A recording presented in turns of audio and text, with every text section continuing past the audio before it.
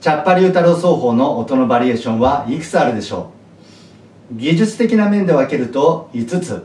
この5つを組み合わせることであなたのチャッパ表現は単なる伴奏だけではなくソロ演奏も夢ではなくなりますよ。緩み打法とチャッパといえば和太鼓奏者の金子龍太郎です。このチャンネルでは皆さんと一緒に和太鼓やチャッパを学びより充実した人生に役立つ情報を発信していきます。よろしかったらチャンネル登録もどうぞ。さあそれでは今回はチャッパリ太郎奏法の音のバリエーション5つのうちから1つ。オープンについて一緒に学んでいきましょう。チャッパリ太郎奏法では打った時や打った後に響きをコントロールして音を止めたり音をあえて濁らせたりする技術がありますがこのオープンは打った後コントロールは何もしません。つまり打ちっぱなしということですね。オープンの中には大きく分けて3つの音があるんですけれどもその区分けは何でしていると思いますか？音量、うん、確かに音量も大きく関わってくるんですけれどもここでは音質で区分けしています。最も強い質のジャン。そして中くらいのチャン。最も繊細なチン。この3つ。じゃん、ちゃん、ちんです。では実際にやってみましょう。まずは、じゃん。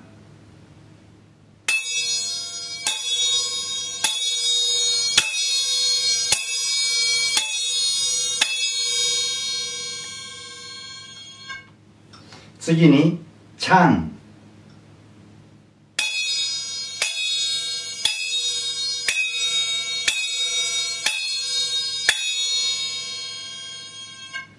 そしてチン。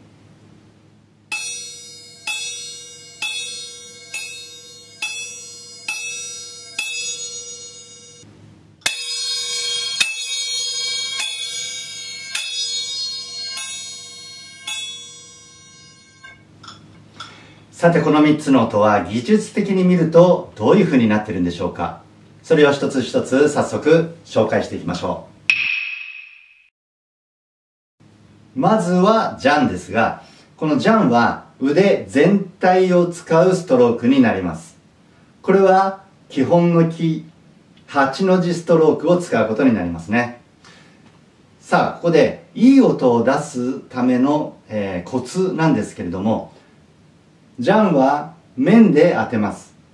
面で当てるんですが、全部の面をこうやって当ててしまうと、このへこんだところのカップに空気が入ってしまって、えー、雑音が入っちゃうんですね。この雑音を良しとするか、えー、しないかはまあ好みそれからやる音楽によって変わってくるのでまあどちらでもいいといえばそうなんですがまずは澄んだ綺麗な音を出すということを目的としたいのでここでは少しずらしてここに空気の逃げるスペースを作ってあげます。その上で最大面積を当てる。ね。この時空気の音が混ざってないかどうかはもう耳で判断するしかないのでよく聞きながらやってみてください。ちなみに空気が入っちゃった音はこういう音です。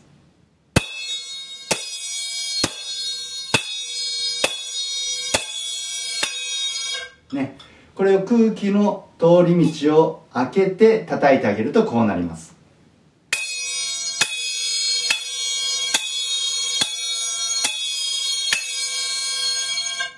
8の字ストロークについては別動画で紹介していますので、下にリンクを貼っておきますから、ぜひ参考にしてみてください。次に、チャン。チャンは結構幅が、音のね、幅があるんですけれども、今は、えー、ジャンの時よりも少し、えー、弱めに叩いて、当てる面積はジャンとほぼ同じぐらいにしておきましょう。そして、動きは片方の手は動かして片方の手は固定しておきます。この動かして当てに行く方の手のことを当て固定して、えー、当てていく方の手を受け止める方を受けと呼びます。受けはだいたいこの45度ぐらいに傾けておいて固定しておいてください。そしてこの固定した受けのところに当てていくわけですがこの当ての方のストロークは肘を使うストローク。そこにねじるツイストストローク。これをプラスしてこんな動きになります。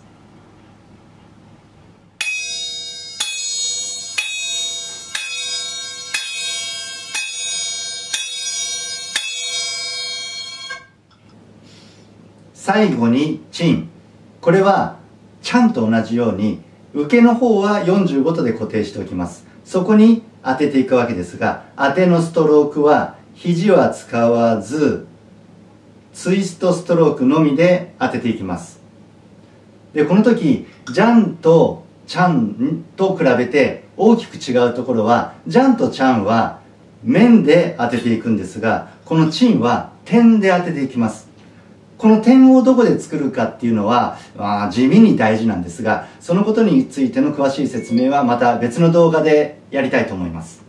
今はこの茶っ葉の端の方ですねエッジ端の方同士を当ててみてください。さあそこにツイストストロークで当てていきます。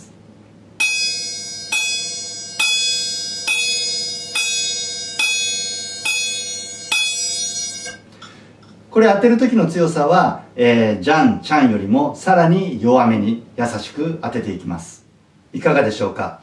今回は、ジャン、チャン、チンを分かりやすいように3つきっちりと分けて解説しましたが、まあ、実際の演奏では、この3つをグラデーションさせて、クレッシェンドやディクレッシェンドという表現に使うことがよくあります。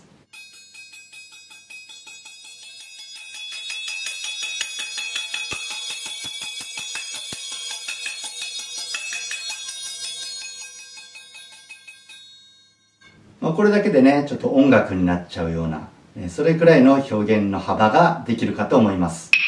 さらに詳しいこととか、こういうとこどうしたらいいんだろうなっていうようなお悩みとか、えー、もっとこんなこと知りたいっていうご要望、そんなことありましたら、えー、もしかしたらね、この YouTube の動画でお答えできるかもしれませんので、えー、よろしかったらぜひコメント欄の方にメッセージをください。それでは今日のまとめです。今回のテーマは、5つある音のバリエーションのうちの1つ、オープン。オープンの中には3つの音のバリエーションがありました。ジャン、チャン、チン。ジャンの質は最も強くストロークは8の字ストローク。いい音を出すコツとして空気の音が入らないように空気の抜け道を少し、えー、このようにずらして当ててあげる。チャンの質は中くらい。受けの方を45度で構えて固定。そこにストロークは肘とツイストを使って当てていきます。当てるのは面でジャンと同じように空気の音が入らないように少しずらして当ててあげます。チンの質は最も弱くて受けの方は同じく45度で構えて固定。そこにストロークは肘は使わずツイストで当てていきます。この時面で当てるのではなくエッジ同士を点で当てるんでした。それでは今回はこれまで。